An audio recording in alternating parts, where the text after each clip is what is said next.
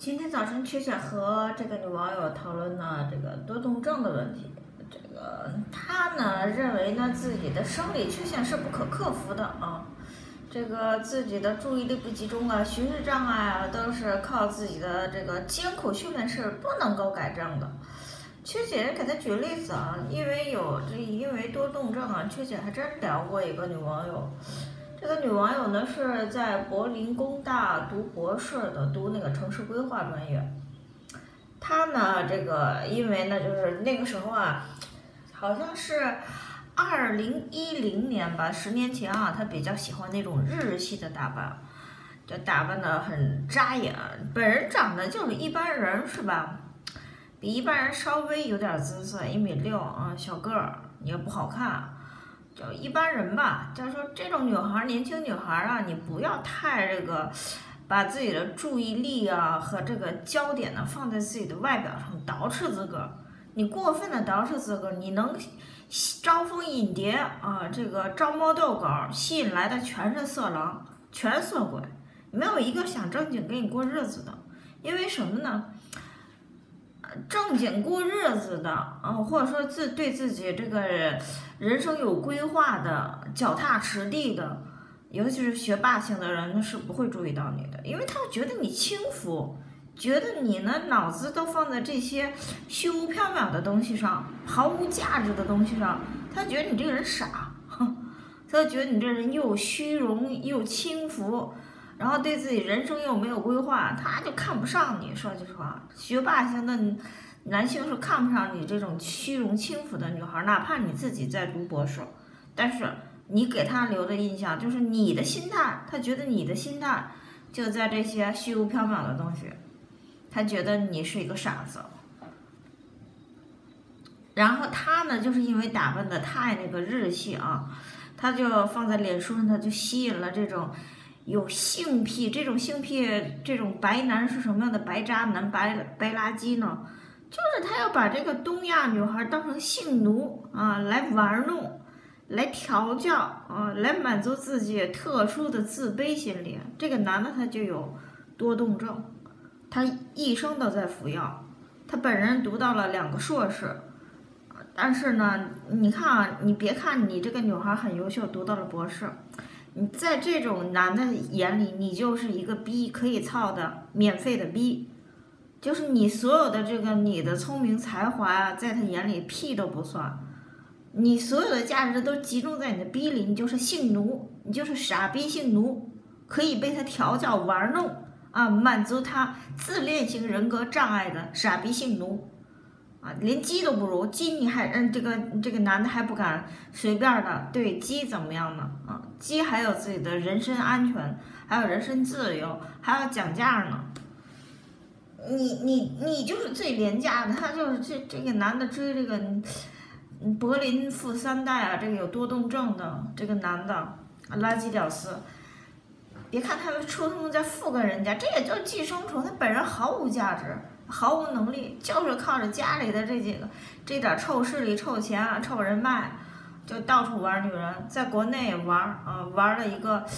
呃，在上海当沪漂的一个温州女孩，还让他就是拼命的这个女孩找到，就是通过网上的痕迹啊，蛛丝马迹找到这个女网友，这个柏林的女博士，告诉她。说呢，你现在这男朋友在上海就玩了我啊，拼命的让我让我给他口交，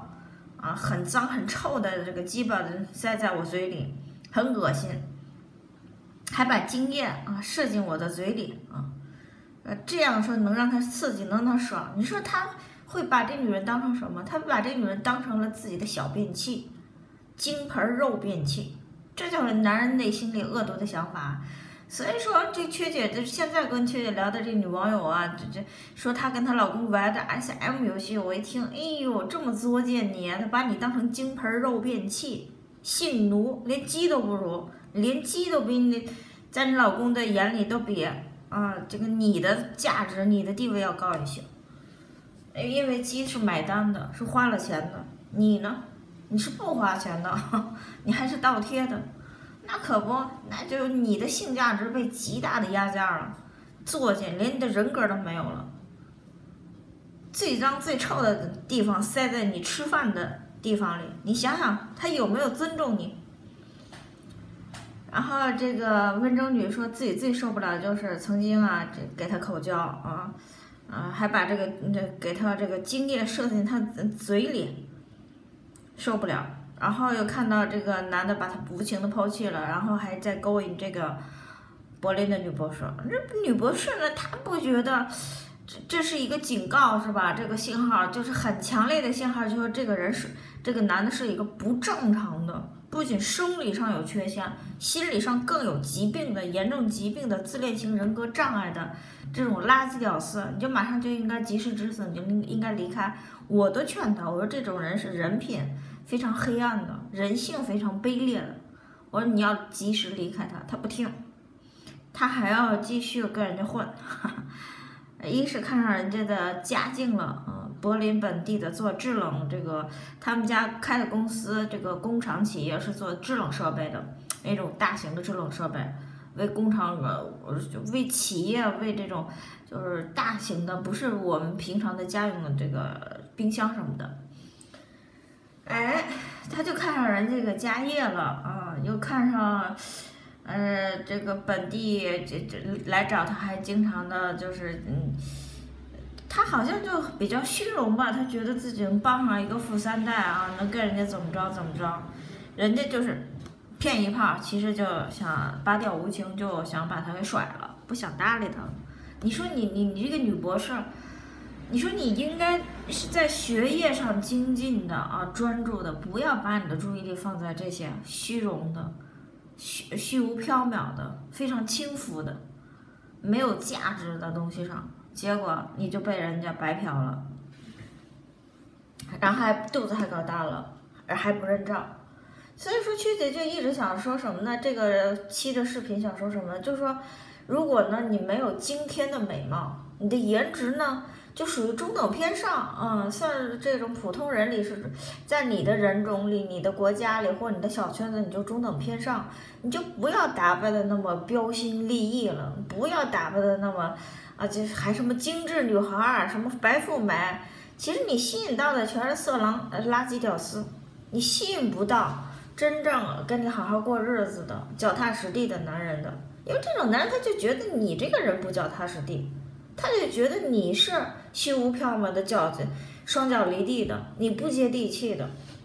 如果你长得就是你，你得认识到，如果你没有就特别好的身高，你没有特别好的身材，又没有特别啊这种洋气的五官，你看着就就是普通的普通的人啊，土了吧唧的，或者说你就不要为了摆脱自己所谓的土味儿，拼命的捯饬自个儿，没用的。说句实话，雀姐啊，如果就这些日子啊，经常中午的时候，在这个中小学放学的时候坐公交车嘛，就看到大巴上那么多的俊男美女，那真的不需要打扮的，就穿一个普普通的跑步裤子，一个简简单单的 T 恤，就是灰色的跑步裤子啊，什么白色、黑色的什么这种黑白灰的这种 T 恤，就扎一个马尾。就这种女中学生，就是一眼就看，戴着口罩都一眼看得出，真是大美女。惊天的美貌，这是不需要打扮的，打扮什么呢？你就往那一站，就亭亭玉立，就婀娜多姿。你说你谁不想多看几眼？这用得着打扮吗？你有这样颜值，根本就不需要打扮，打扮粉都是多余的。就那大眼睛大的，那睫毛长的，那鼻子高的，那头发卷的，那真的像洋娃娃一样精致。人就长成这样，人长得个儿又高，一米七左右的个儿，然后那身那身材那是少年，你想想少女少年的那个身材，啊，正在抽条的，他没贴肉，那可不就是好看。所以说呢，就是说，就这个现在我一直特别这个讨厌，就是说现在年轻人流行的这个消费主义，拼命的让你们啊乱买、乱穿，啊乱捯饬，把自己过度的修饰，然后还掩饰不了自己的颜值的平庸。说句实话，人都不是瞎子，你是不是美女，不管你打不打扮，你都能呀，除非你做去整容去，你只要不整容。你打扮成什么样儿都能看得出你颜值是平庸的，这缺姐说实话了吧？为什么缺姐不想打扮呢？缺姐自认为自己不是什么惊天大美女，身高就不够，身材也不好，啊，这是你现在也不年轻了，你还打扮成什么花枝招展的？你去看着他们像老妖怪啊！就缺姐一看，在公交车上经常，大街上啊也经常看到那些老妖怪啊。打扮的，哎呦，一看这真的是，又没品位啊，又没有这个自信。什么人才是拼命的打扮自己？那就是，呃，言过是非，这不叫言过是非啊，就是类比一下。我们通感类比一下，就是什么呢？因为你自己颜值不够，你才想用打扮来凑。你真的对自己颜值有自信的人，是不屑于这么拼命的打扮自己的。你乱花钱不说。而且呢，你吸引来的全是垃圾，全是好色之徒，全是想白嫖你的白嫖客，没有一个正经人会看上你的。正经人他他就觉得你这人心态就有问题，你这心态就跟他不是一路人，他怎么会接近你呢？所以说呢，你你给自己人生啊增加这么一个坎，比如说这个女博士。明明读着博士呢，你说你就好好钻研你的学业就行了，好好你早早的毕业是吧？跟你的导师那个老太婆关系搞好点儿，啊，有什么课题你你多跟他聊聊。然后他心思都在这搞对象，拼命的搞这些不靠谱的对象。你说你在这认准了人哈，认准了一个脚踏实地的也钻研学业的，或者说找一个学者型的。跟你是同行的也行啊，不，他就乱找，这这这就是凭自己情绪来。所以说，确觉得他这个这个女孩她一直有很严重的自卑的这个心理问题，她没解决，她严重的这种自我意识她没建立起来，她对自己不够自信，她需要建立更多的社会性缘关系来找到自信，然后她让自己就陷进去，陷得更深。沉迷进去，然后全是垃圾人在围绕着他。明明是个博士，是搞学术的，你说你为什么要跟这些垃圾混在一起？然后你在他们的眼里，你就是一个性的符号，你本人的所有的才华、所有的这种学识一文不值，人家都看不到你的学识，看到的你就是你你的身体、你的肉体、你的性价值啊，你的所谓的性魅力。然后这这种人说，如果说颜值又没有多高的话，人家就完全是作践你的。他只是你说人家这些屌垃圾屌丝们，他难道看不出你颜值就是普通人吗？要胸没胸，要身高没身高，要脸蛋儿没什么脸蛋儿，人家给人家是瞎子吗？能看不出吗？就为什么要找你呢？就想作践你，想玩弄你。想把你当成这种廉价的、低等的、低劣的性奴、东亚性奴、黄皮肤的母狗，就用他们的用他们的这种作践女的话，就管你叫母狗，来作践你，来寻找这种精神的优胜感，用性别优势来打败自己的内心的自卑感。这种有多动症的这种屌子啊，他内心是很自卑的。有一是学有困难的屌子是很自卑的。另外一个是他有什么疾病的，有疾相或者家境比较差的，会非常自卑。只要他们找到任何的机会，他们都要作践女人，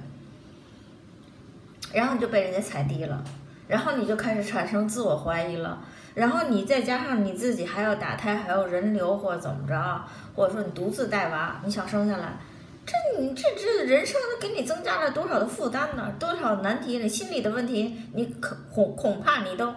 这辈子你都解不开的，所以说就是就女性啊，尽量的不要利用到自己的性的这方面的东西，就是跟性有关的东西要远离一下，在你年轻的时代，你离得越远越好。你不要为了让男人来承认你的价值，男人所承认你的价值就是你可操，没有你在他眼里根本就没有任何价值，男人就是不承认女人的价值。就是要作践你来寻找精神的优胜感，就包括这个女网友，她找的这个垃圾老公也是这样，她这老公叫他妈赖皮狗，就是一个心理变态、阴暗的，极度阴暗的赖皮狗、落水狗、丧家犬，他居然还当成宝，还当成主子啊！完全就被被他的这个垃圾老公调教，他是一条非常听话的女性奴了。那你那你可不，那你就是你你这辈子都很难有动力说我自己要站起来，我要寻找自己的啊生存空间。他没有动力了。这就想，哎，我我就靠着，呃，哄男人开心，啊，我我就能糊弄着活这辈子活下去。他永远都会这么想。你让他自己振作，他永远都振作不起来。这不就是你被这个男人吸干了你的情绪价值之后的结果吗？就是你没有动力去解决你个人的问题，你对自己一一生都永远负不了责任。这就是缺姐为什么要告诫年轻广大的这个女网友啊，一定要年轻的时候，你把你的心思放在学业上，放在工作上，不要太早的进入这种信用关系，尤其是不要随便，嗯，用消费主义来填补自己空虚的内心，或者说比较贫乏的匮乏的自我，你还是要多读一点。各种，哪怕说我童年有过什么心理创伤啊、心理阴影，那都看心理书籍是吧？或者说我培养个业余爱好，或者说呢，我建立非常良好的、健康的社交圈子，我找一大堆啊，有就跟我讲义气的朋友，靠我的朋友来滋养我这个啊干瘪的自我，这个可以。但是你不要太早的进入这种性缘关系，因为性缘关系在这个男权社会里。性女性的所有的性价值都不是被压榨、被贬低的，被侮辱的、被损害的。所以你们为什么要那么早的呃要这个获得男性对你们的性魅力的认可呢？一文不值，男人对你们的认可一文不值，因为男人本身就没有价值，男人本身也非常的恶毒，他们内心是恶毒的，是下贱的。然后反倒把你作践成你是一条下贱的母狗，你说你觉得划算吗？就必须得识破所有男权社会的这些谎言、骗术、花招。一是消费主义构陷女性，这消费主义构陷女性，这这太多了。早在一两百一两百年前啊，这个资本主义刚萌芽的阶段就有啊。你多读一下这个世界古古典名著。啊，什么包法利夫人，什么项链儿，啊，什么这这些啊，福拜楼的啊，莫泊桑的，哪个没说到这个消费主义是怎样构陷女性的？怎样这个消耗女性，让女性为一生为都落入穷困潦倒的境界的？不长脑子呀，真的是不长脑子呀！然后还傻傻的，还虚荣，我确实不说句实话，都不需要看你们本人，我就把照片给我一发，我就知道你是不是又虚荣又愚蠢，还自鸣得意、自我感觉良好、特别自恋的那种傻逼，我一眼就看穿。这这很多这个网友呢，其实是比较怕发给秋姐照片的，因为秋姐一眼就看得穿你这个人。心态上的缺陷在哪儿？你现在的什么样的状态？就从照片，你精神面貌、你的气场全部写着，甚至你的过去的经历，所有的信息都写在你的脸上。